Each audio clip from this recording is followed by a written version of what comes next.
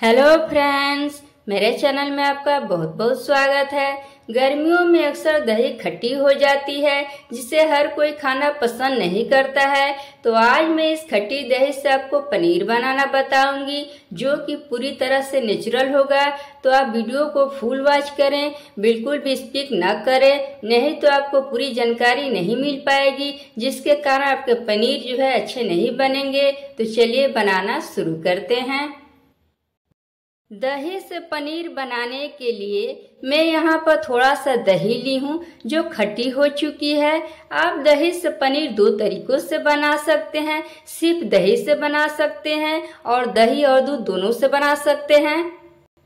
अगर आप सिर्फ़ दही से बना रहे हैं तो आप दही को लो फ्लेम पर, गैस पर गर्म कर लें। इससे क्या होगा कि दही में से पानी अलग हो जाएगा। फिर इसे आप एक कपड़े में छान लें। पर इससे मैं दूध और दही दोनों से बना रही हूँ, क्योंकि दही हमारी कम है। सिर्फ़ दही से जो हम पनीर बनाते हैं, वह थोड़े खट्टे बनते हैं। गैस पर हमने दूध गर्म होने के लिए रख दिया है। यह आधा लीटर के करीब दूध है। अब हम दूध में उबाल आने देंगे। दूध में हमारा अच्छा सा उबाल आ चुका है। ये देख सकते हैं। अब हम गैस को बंद कर देंगे।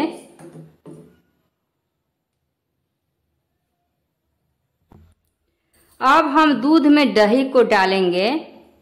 गैस को हमने यहाँ पर बंद कर दिया है। अब इसे इस तरह से हल्के हाथों से चलाएँगे। देख सकते हैं, अच्छी तरह से हमारा दूध जो है फट चुका है।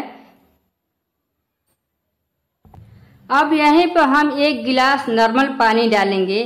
इससे क्या होगा कि हमारे पनीर जो है टाइट नहीं होंगे सॉफ्ट बनेंगे। जब आप दूध गर्म करने के बाद आप गैस को बंद कर दें, तभी आप दही डालिएगा। अगर गैस ऑन कर कर दही डालिएगा तो क्या होगा, आपके पनीर जो है हार्ड बनेंगे सॉफ्ट नहीं बनेंगे। यहाँ पर मैं एक बड़ा सा बर्तन ली हूँ। अब इस पर मैं कॉटन का कपड़ा डालूँगी। अब इसमें हम पनीर को छान लेंगे।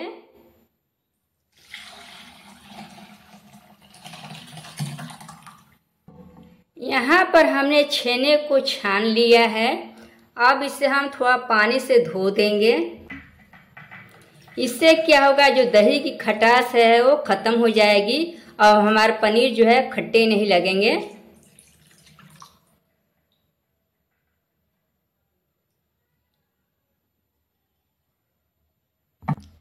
अब हम छेने को पानी को अच्छी तरह से, इस तरह से निचोड़ लेंगे।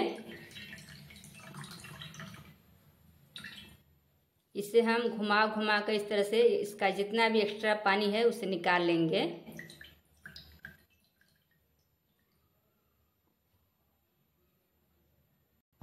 छेना का जो पानी है उसे आप फेंके नहीं, आप इसे सब्ज़ी में ग्रेवी बनाने के लिए इस्तेमाल कर सकते हैं, इससे आप आटा भी गूंथ सकते हैं। अगर आप इसका यूज़ नहीं करना चाहते हैं तो इसे पूरी तरह से ठंडा हो जाने के बाद आप पेड़ पौधों में भी डाल सकते हैं। यहाँ पर हमने छेने के पानी को पूरा निचोड़ लिया है। अब इस पर एक हम भारी वज़न रख देंगे।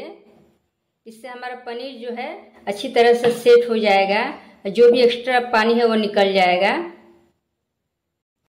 अब हम पनीर को चेक कर ले रहे हैं। इसे सेट होने में 20 से 30 मिनट का समय लगता है।